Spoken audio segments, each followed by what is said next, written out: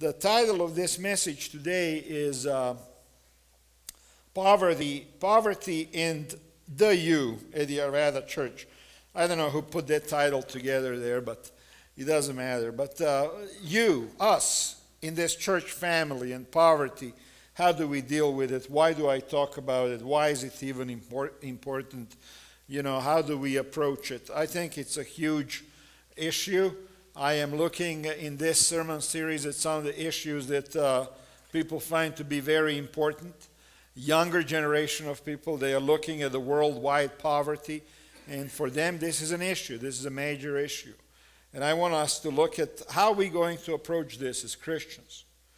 And uh, before I talk about this, I'm going to say this.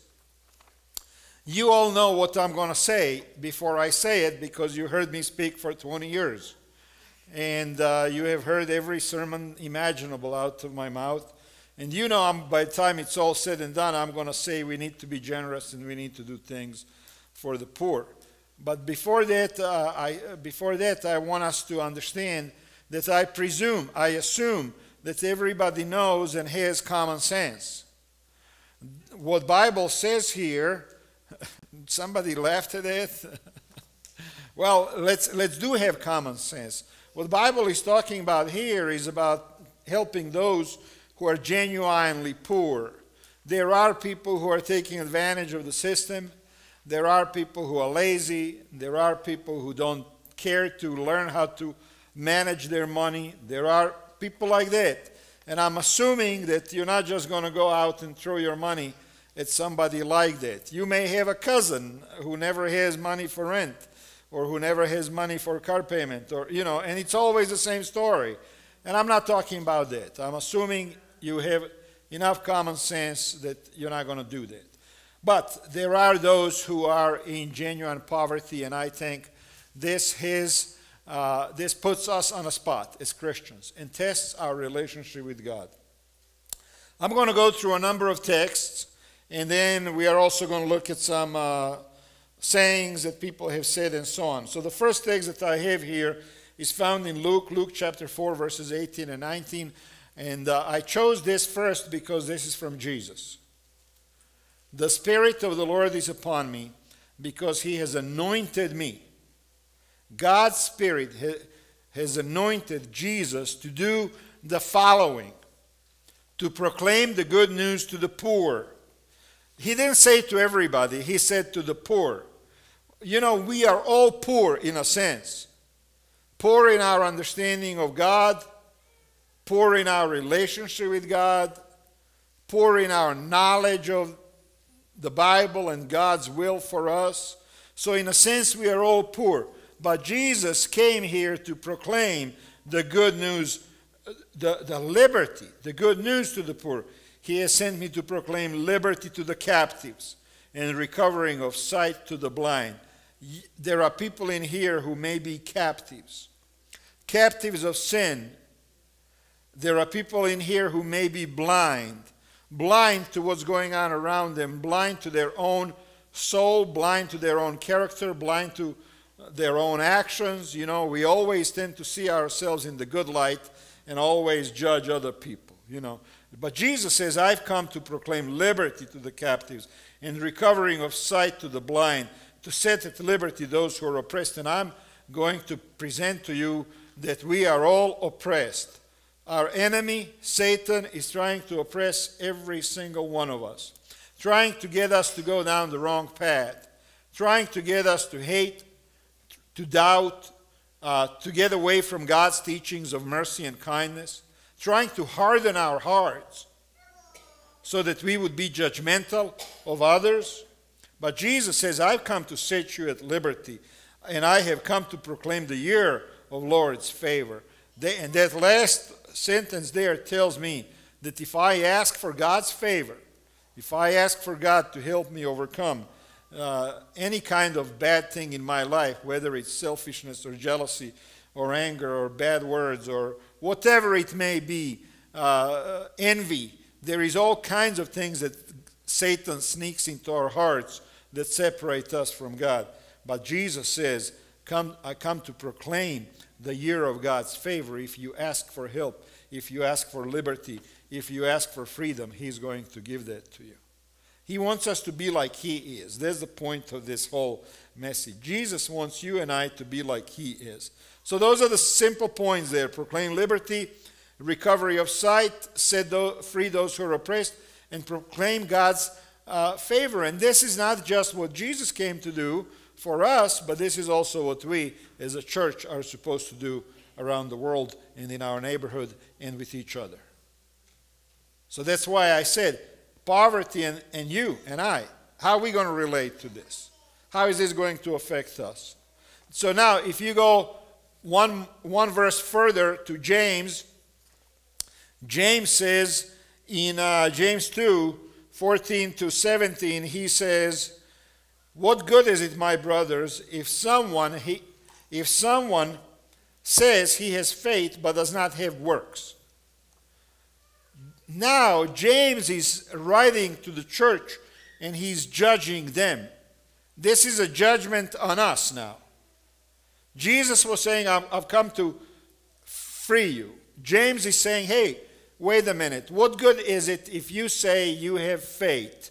In other words, what good is it if you say you're a Christian? What good is it if you say I follow Jesus? What good is it if you say I know my Bible? What good is it if you say, I can recite Psalm 23 and the Ten Commandments? What good is that, he says, if someone says, I have the faith, but no works? And then he asks a question Can that faith save him?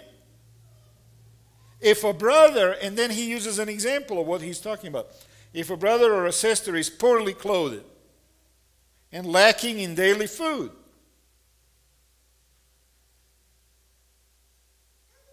There are a person or two right now in this congregation, right now, who are lacking in daily food. I can tell you that with certainty because I have talked to them.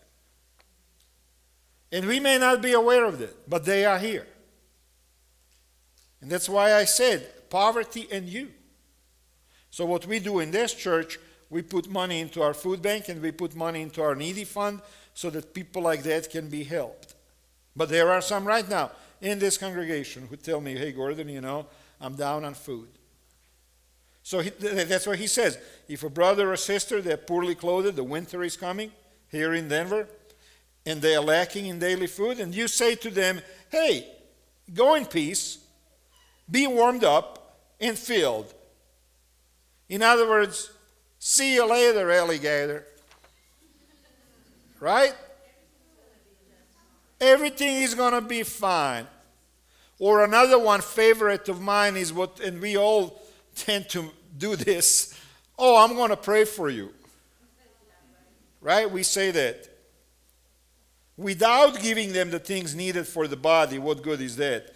So also faith by itself. In other words, religion by itself. I have a certificate on my wall that I was baptized. And I have another one that I've got a degree in religion from a Seventh day Adventist institution. But religion by itself that does not have good works is dead. That's what James says, is dead. So, two things we learn from this verse faith without good works is no good and cannot save us. Number one. And number two, do not ignore those who are poor and who are in need. The easiest thing is to ignore. Again, I say use your good judgment. I'll give you an example. By uh, 120th there in Sheridan, Home Depot, and I go there. I went there quite a bit in the last few weeks trying to fix things on my house before the winter comes in, and there is a guy standing on, sitting on the corner, and he has a, a toddler crawling around the sidewalk and a bunch of stuff all over the grass there on the sidewalk, on the corner, as you go into the into the Home Depot, you know. And I, as I was driving in there the other day, a policeman came over and told him to put the to, to put the baby into a stroller. He couldn't crawl on the, but they couldn't tell him to uh, not to do this, not to beg. But he professionally begs. Day after day, after day, after day, after day, weeks and months and never looking for a job. You know, there are people like that. I'm not talking about that. There are people who will take advantage of you. I don't know how many stories have I heard, and it's always the same story. Pastor Gordon, uh, I'm driving to Utah, and my car broke down, and I need a new transmission, and we just need a little bit of help. And then the same voice forgets that they called my number and called me again in three days, and same story. You know, so I'm not talking about it. You have to use your common sense. But when we experience those kind of people, then we tend to ignore everybody. That's not good either. We can't do that either because there are those who have a genuine need. Mother Teresa said, let's see, when a poor person dies of hunger, it has not happened because God did not take care of him or her. It happened because neither you nor I wanted to give that person what he or she need, needed. And I don't want to put the guilt trip on us here. That's not the point. I just want us to develop a systematic approach to having a relationship with God.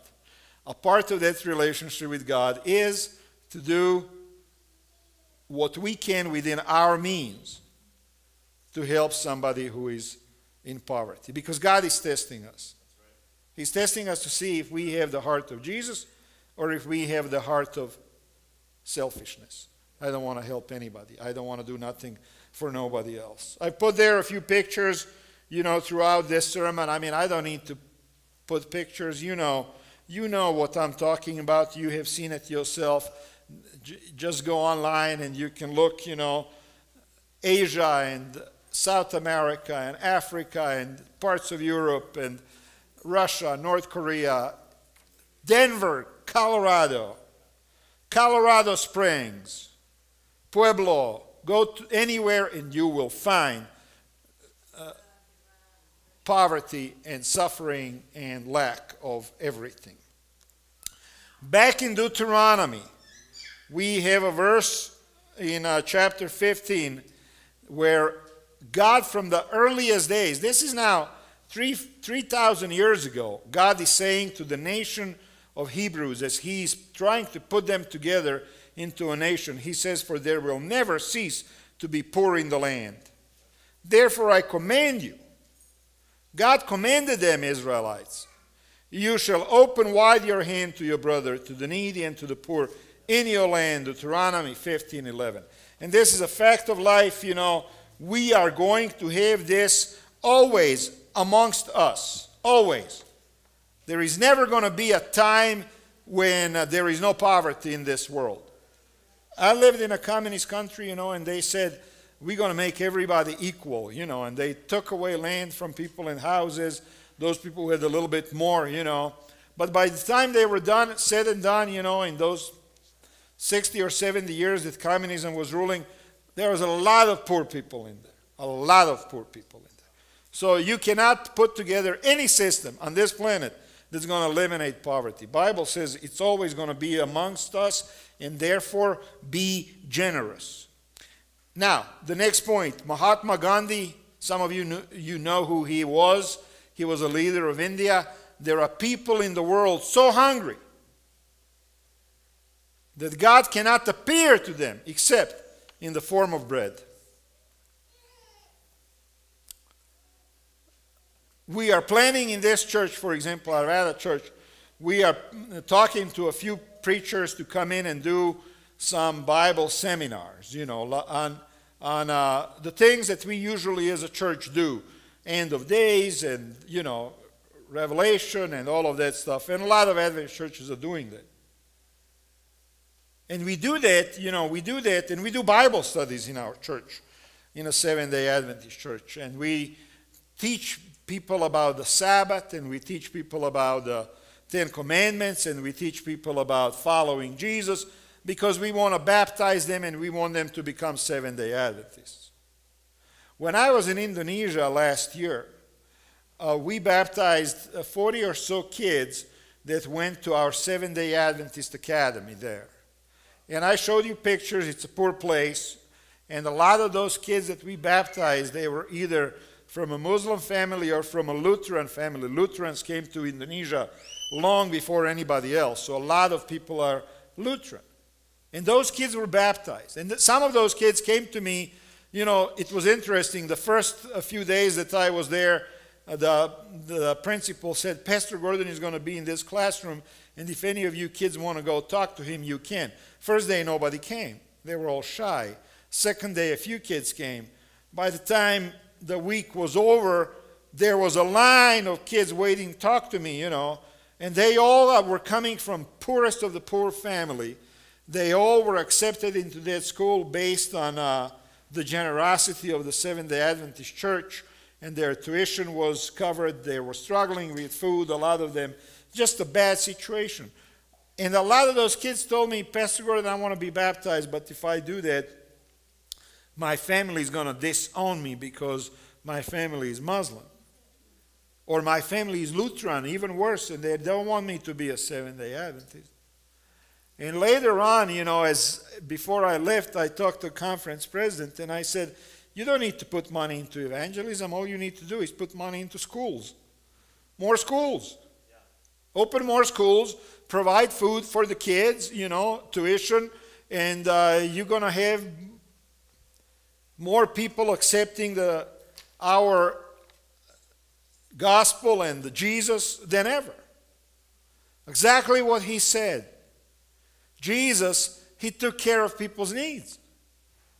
Somebody was hungry, he said to his disciples, Let's feed them. If somebody was hurt, Jesus tended to their illness, opened the eyes of the blind, went to the nursing homes to visit those who were sick. We have nursing homes here in Denver. Went to the hospital went out onto the streets. Our van that we got is going to go out on the streets.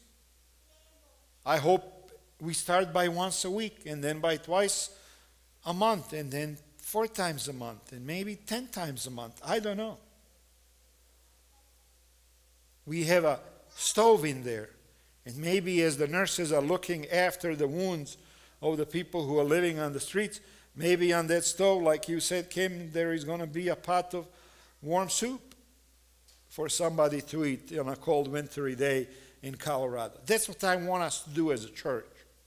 I want us to participate in making this world a better place to alleviate the suffering here in our community. And I'm not, uh, we're not requiring a lot. We are already, I'm already thrilled with what we got from this church, from you as, as members of this church that are making all of this happen. So that's where we are going as a church. So Gandhi said there are people in this world so hungry that God cannot appear to them except in the form of bread. You can talk to them till you're blue in the face. If you don't take care of their stomach, they're not going to hear anything else you have to say. Frank uh, Buchman said, There is enough in the world for everyone's need, but not for everyone's greed. And I can show you pictures of rich people, I can show you pictures of poor people. It doesn't matter. I mean, you get the message, right? The world is not a fair place. There are some who, and I'm going to show you one chart here in a minute when we get to it, where you see a small percentage of the people controlling the vast amounts of wealth on this planet, while others are basically but we're not going to solve it. Not until Jesus comes. But I can do my five bucks. I can do my cup of coffee for somebody, my bottle of water, my old shirt that's sitting in my closet for years and years and years and not warming up anybody, just wasting my space. That's what I can do. 1 Timothy 6 you guys okay with going through all of these texts? Are you getting bored? You won't go home? No? Want to do some more? Yes. I just want to check. I don't want to hold you here against your free will. As for the rich in this present age, charge them not to be haughty. And I asked in the morning, what does that word mean, haughty? High minded? What does it? Uh, give me some more. What does it mean? Narcissistic? Proud? Okay, so as for the rich in this present age, charge them not to be all of that, haughty, nor to set their hopes on the uncertainty of riches. Sometimes, as human beings, we get kind of satisfied with what we got and we think that that's going to protect us in case of a trouble. And I'm telling you, next time when there is a, and I don't want to go into politics here, but everything that I'm looking at, I believe that there is going to be another crash here in this country, financial. And next time that happens, no amount of riches is going to protect anybody. And all of us in here can find ourselves in this group of poor people that we are talking about, how to help, how to help them now. We could be somebody who needs help. And I believe it's going to happen. Maybe a year, maybe two, but I believe it's going to happen. So he says, do not put your hopes on the uncertainty of riches, but on God, who richly provides us with everything to enjoy. They are to do good. Who? The rich people. Well, who is the rich people? Well, you and I, folks. We got more money in this room than some countries have put together. You know, you and I, we are the most prosperous people in the world in this country, in the United States of America. We make more per capita, we make bigger paychecks and bigger salaries than anybody else in the whole world. My dad, when he was alive, he come here and I take him out to eat to McDonald's, you know, and we would grab a couple of sandwiches, you know, and he would ask me, how much was that? And I would tell him it was $12, you know. And then he would convert that into the Croatian money. And he would say, are you crazy? You're spending this much money on two sandwiches, you know? You laugh because you do the same thing, right? we don't even know how much money we get coming through our wallets and fingers all the time, you see. So he says, they or us, we are to do good, to be rich in good works, to be generous and ready to share, thus doing what? Storing up treasure. Where? In heaven. Amen. For themselves as a good foundation for the future so that they may take hold of that which is truly life. I mean, look at the truth that he's saying here. He's saying, you guys need to understand that this life is just a test. You know, like you're listening to the radio and all of a sudden you hear that booze, stuff, whatever, and it says this is a test of the national weather. It's just a test, not the real thing, right? Now it's on our phone. We get a test. It's just a test. So this life is just a test. It's not a real thing. But the real thing is coming. And if I, you and I want to be ready for the real thing, we need to store the treasure in there. And that treasure is what? Don't be proud. Don't trust in riches. Hope in God. Be rich in good works. Sharing. When you share with others, that's storing points in heaven. Every time you share something with others, that God, God knows, God sees, God takes that into account. God looks at you and says, Okay, I see. Doesn't have to be a lot. Does, it can literally be a bottle of water. I was in Florida driving, and a guy was begging on the side of the street, and he looked like he really could use some help. And I didn't have any cash in, on me, but I had an unopened bottle of water, and I, as I drove by, I stuck it out to the window, and he just grabbed it and said, "Oh, thank you, thank you, thank you so much." And be a bottle of water. What does that cost me? Ten cents. And true life is eternal life. That's what the Bible teaches. Now we go next to, let's see, after the picture of that uh, beautiful Rolls Royce, we go to 1 Timothy 3:16 to 18. All mine, right? First, uh, let's see, what did I say? 1 Timothy, 1 John 3:16 to 18. By this we know love that he laid down his life for us. So see how he's setting this up? He wants, John wants to put the big guilt trip on everybody who is listening. Jesus laid down his life for you. And what are you going to do? You're going to complain about having to help some needy person? And we ought to lay down our lives for our brothers. But if anyone has the world's goods and sees his brother in need, yet closes his heart against him, how does God's love abide in him? Little children, let us not love in word or talk, but in deed and in truth.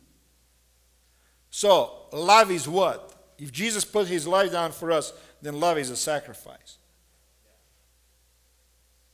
When was the last time, and I asked this question of myself too, when was the last time I gave something sacrificially? Meaning I took it away from me even though I needed it.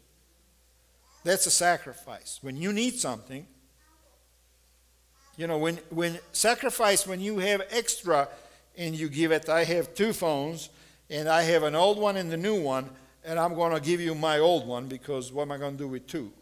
That's not sacrifice. If I have 50 shirts and 10 of them I don't wear because they're either too big or whatever, and I give you those 10, that's not sacrifice. Sacrifice is when you have one and you need it and you turn it over to somebody else. Now, that's another level of giving, right? And I think that comes as a result of God's Holy Spirit in our heart. That's another level of spirituality. But if you close your heart, how does God's love abide in you? Little children, let us not love in word or talk, but in deed and truth. I would like us to be a church that does deeds together, where we participate. When Fred Harding was alive uh, some years ago, we went over there and painted his trailer. You all remember that. And somebody said to me, Gordon, how come we didn't do that anymore? And, and, and that's a good question. How come we didn't do that? That trailer park where, where Fred lived is still there. There are many trailers there that need painting. There are many elderly people there who need help. Maybe we'll go paint another trailer.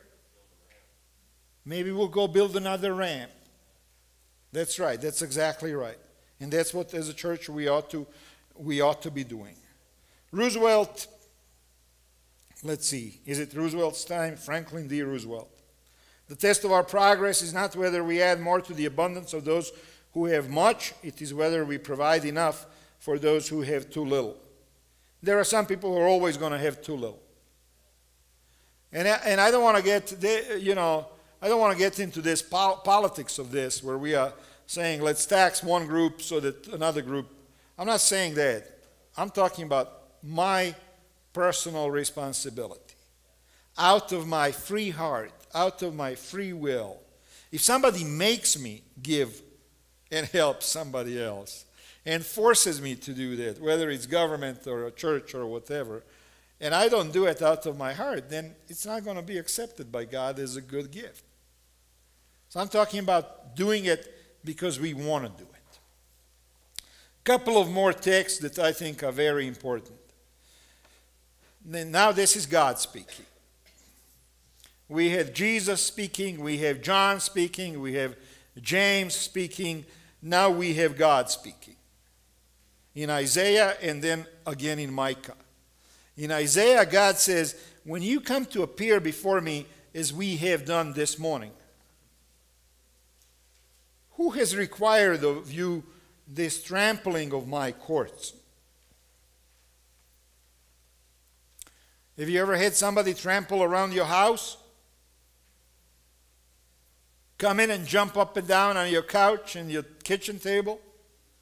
Walk in with dirty boots, not take them off? Make a mess? I, there was a story online where this guy rented a house online to somebody only to come back a few days later and the house was completely destroyed. Somebody trampled all over it. When you come to appear before me, who has required of you this trampling of my courts? Bring no more vain offerings. Incense is an abomination to me. New moon and Sabbath and the calling of convocations. I cannot endure iniquity and solemn assembly. In other words, God says, I cannot endure when you sin and then you come to church. God says, I can't, I can't stand it. When you do things that you know are wrong, and then you show up at church. He's basically saying, well, he's saying, I can't stand it. Your new moons and your appointed feasts, my soul hates. You know that God says a couple of times in the Bible that he hates his, their Sabbaths. Sabbath, you know, the day of rest. Fourth commandment. Why does he hate it so much?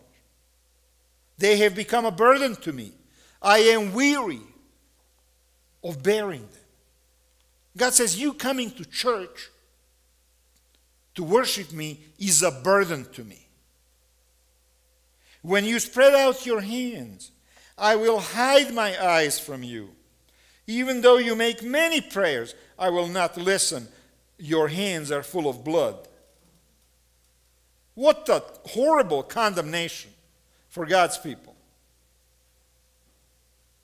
God's, can you imagine? God saying, I just hate you.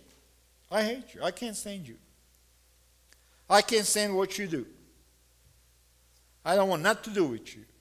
Well, he didn't say that, I don't want nothing to do with you.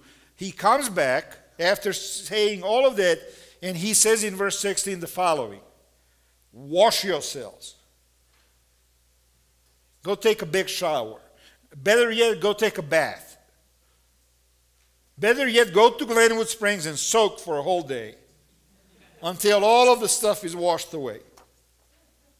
You know, make yourselves clean. Remove what? The evil of your deeds from before my eyes. Cease. Stop doing evil. And I'm going to make a case here that ignoring poverty and hardening our hearts is evil.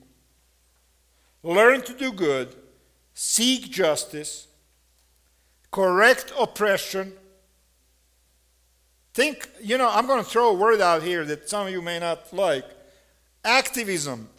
Are we supposed to be activists as Christians? Learn to do good, seek justice, correct oppression.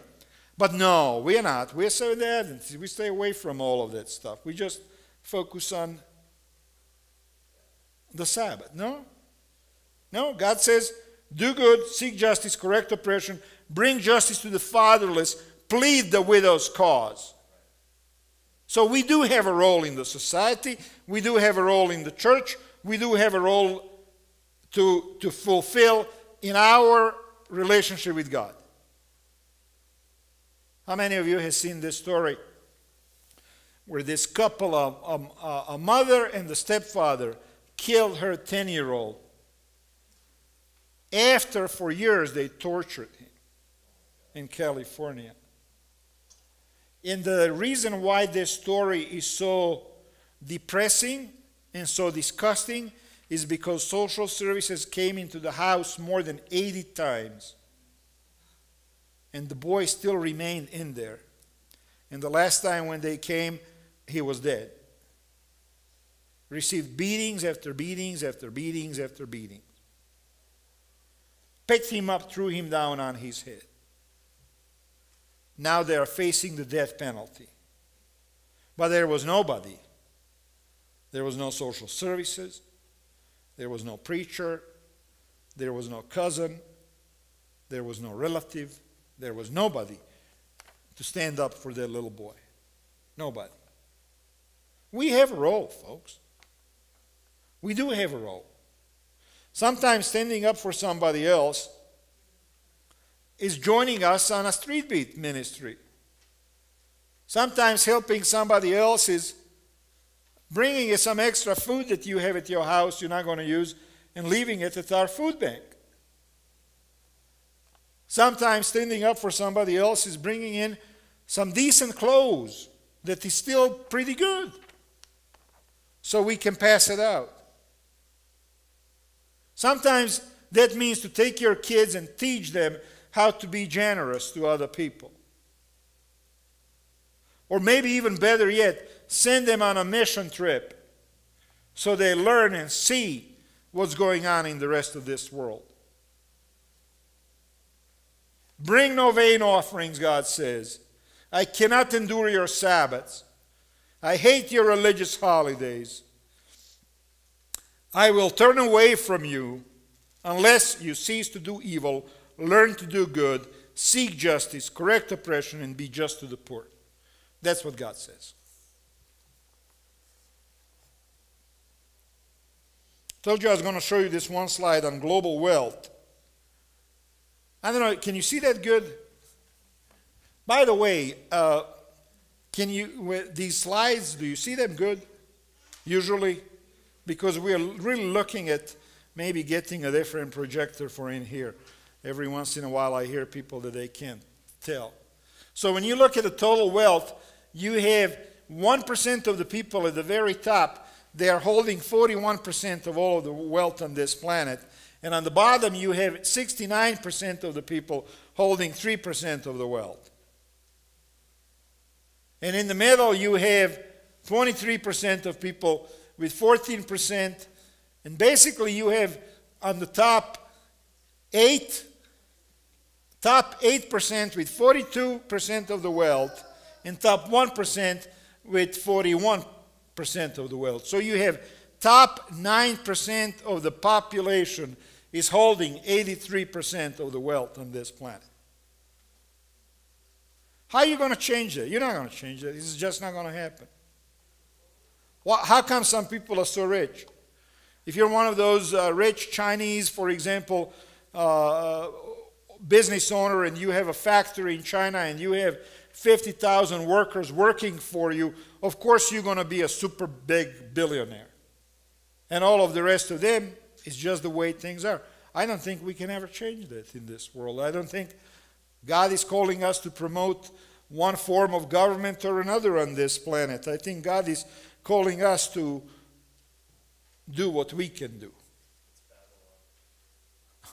Jeff Bridges, an actor, says poverty is a very complicated issue, but feeding a child isn't. How true, isn't it? I can't solve the disparity in wealth in Hong Kong and New York City. And you know, you see people flying in their jets and driving off in their limos, and you see others sleeping on the sidewalk. We cannot solve that as a church. We can do one at a time.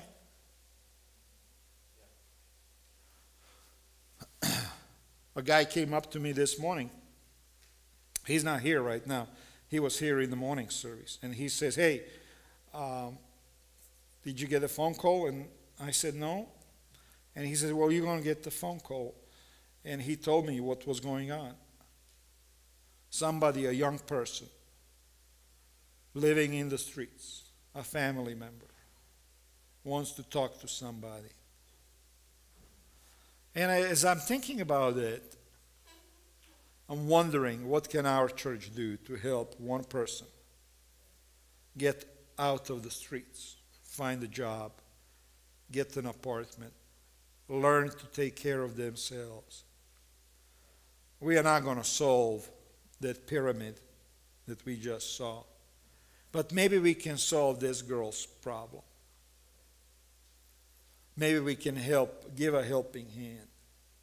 Maybe we can help a person who is struggling with alcohol to give it up, or drugs, or any other vice.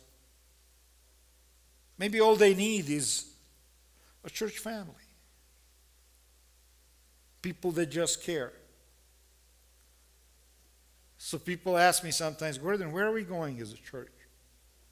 Well, that's where we're going. This is not complicated. This is not complicated. Yeah, we'll do all the other stuff.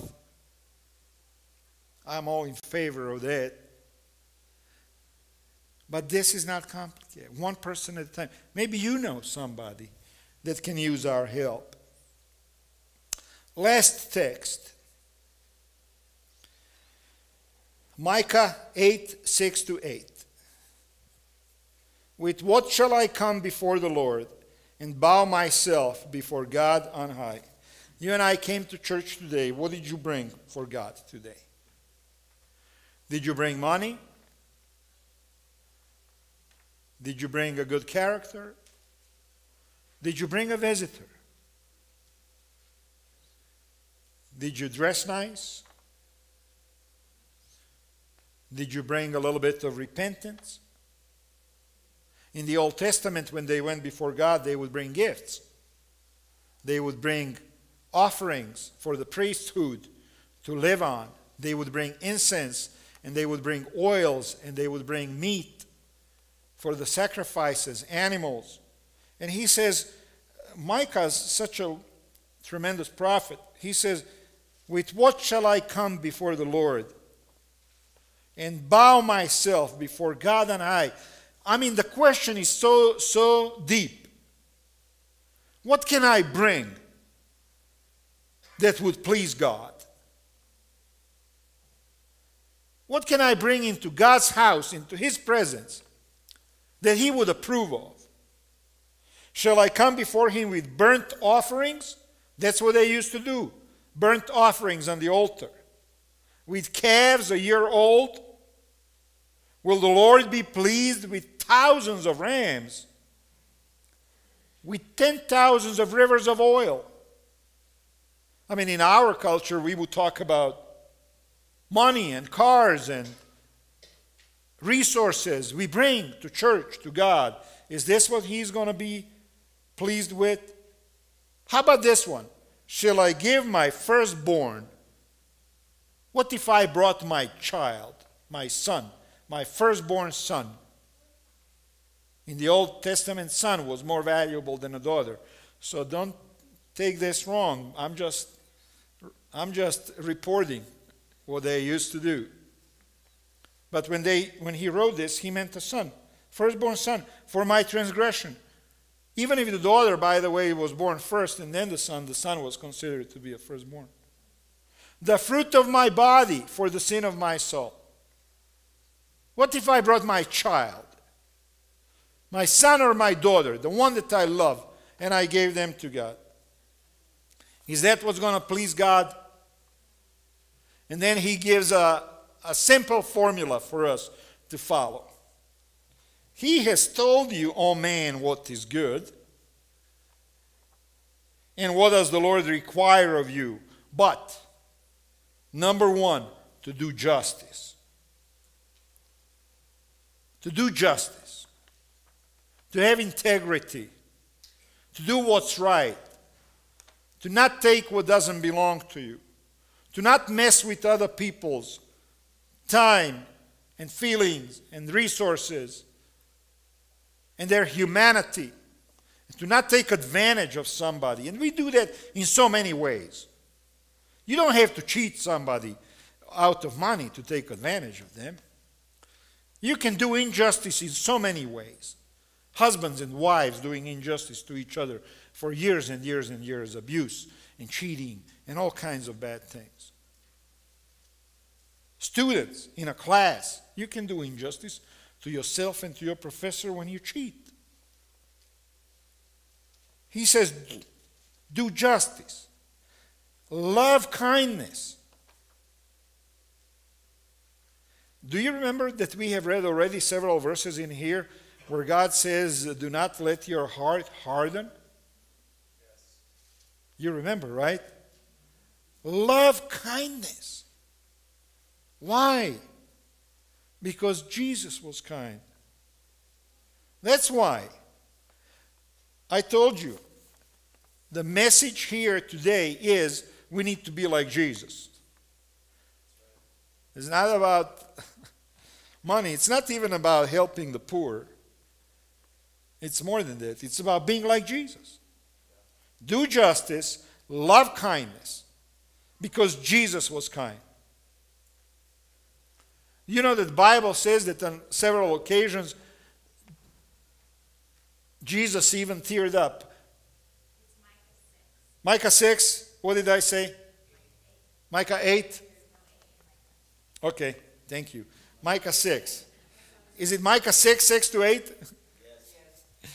Okay, thank you so much for pointing that. I should have known that. I only studied for I don't know how many years. But that's okay. so, do justice, love kindness, and walk humbly with your God. I cannot overemphasize the kindness part. I really cannot overemphasize that. And I just want to take a, a minute here for each one of us to ask ourselves is this who we are? Do I love justice? Most people will say, Yeah, I'm a just person. I love justice. I love to do the right thing. But do you really? Have you been just to everybody around you? Kind? Well, that's, that's a difficult one. It's when we come up, with, come up with excuses, it's not easy to be kind to this person and to that person and to this person. They have different opinions and they are this way and they are that way, and why should I be kind to them? And to walk humbly with your God, to remember every day that this could be the day, that all of our endeavors and plans and everything that we work for can end at any time and to just humble ourselves before God. That's what God wants us to do. And I think as a church, we ought to do the same thing. Humbly walk with God, be kind to other people, and look for projects where we can make a difference in this world. And that's what we are going to do here in the next, uh, for the rest of the year. A couple of other uh, statements here.